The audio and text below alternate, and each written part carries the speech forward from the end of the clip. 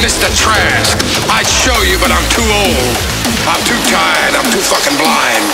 If I were the man I was five years ago, I'd take a flamethrower to this place.